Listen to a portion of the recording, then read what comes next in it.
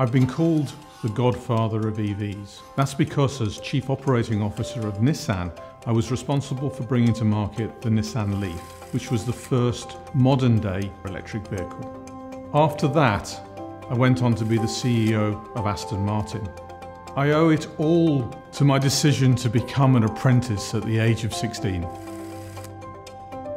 My father bought me an A-Series engine when I was 14 and I took it apart and put it back together again and again and again and again. It was then that I realized that I had a real passion for engineering. Welcome to my home workshop where I've recreated the tools that I had as an apprentice. Those hands-on skills that I learned are still relevant to me today.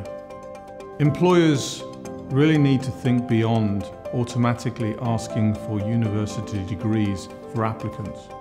The advantage of work-based training is that you can find the talent and then you can shape them to meet the culture of your business. All the studies show that apprentices or people that come from work-based training are much more loyal to the company and much more likely to stay longer.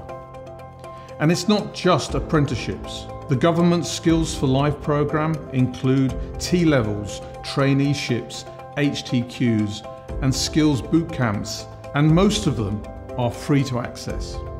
Now I've set up the Palmer Foundation, it aims to give kids from difficult backgrounds the opportunity to access an apprenticeship.